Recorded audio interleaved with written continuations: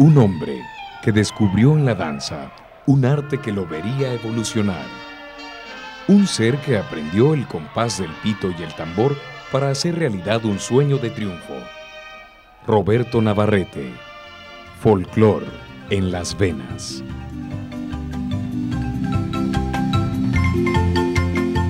Chalatenango lo vio nacer, pero Aguilares y su escuela Modesto Barrios le hicieron interesarse en la danza folclórica.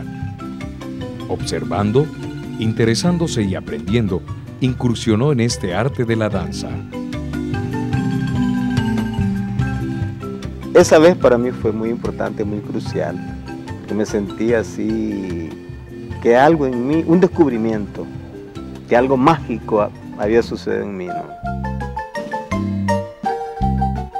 Sus primeros años en el grupo de la escuela se combinaron con actividades de danza extraescolar con otro grupo de Aguilares, en el que se le presentó la oportunidad de enseñar lo aprendido a otros.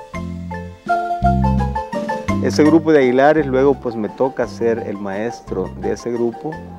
Eh, siempre estuvo gente pues ayudándonos porque llegaba gente de San Salvador a darnos unas clases, ¿verdad? Yo seguí bailando aún a pesar de muchas cosas, porque mis papás, o sea, mi papá, él nunca estuvo de acuerdo. Quitamos las luces de la sala, por favor.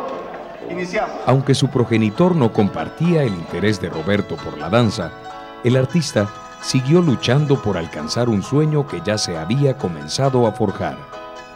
Así, en 1975, integra las filas del grupo de danza de la Universidad de El Salvador, dentro del espectáculo Un solo golpe al caite.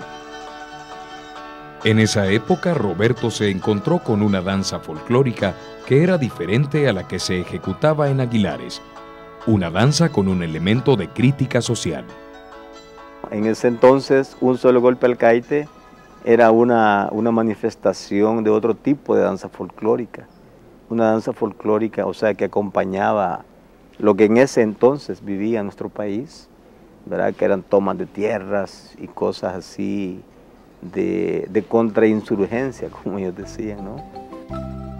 Su paso por el grupo de la universidad le da la oportunidad de convertirse en director de danza. En los años 80, el grupo de la universidad queda acéfalo y había que elegir su sustituto. Es en ese momento que Roberto asume un nuevo reto en su vida. Yo estuve ahí este, como bailarín cuatro años 1979, más o menos 1980, el director eh, cae preso, tiene que irse del país, ¿verdad? Entonces eh, Godofredo salió y yo tomé la dirección del grupo. los que estábamos dijimos, bueno, ¿quién puede ser el director? Entonces, en una reunión con todos los compañeros dijeron, pues, Roberto. Mientras dirigía el grupo de danza de la universidad, inicia un proyecto fuera de las aulas del campus y nace Yulmaquitl, un grupo que reunía principalmente a alumnos de bachillerato que también tenían la inquietud por la danza.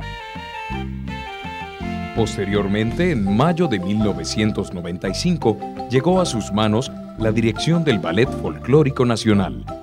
Aquí, junto a su elenco, visitó países como Estados Unidos, Francia y España.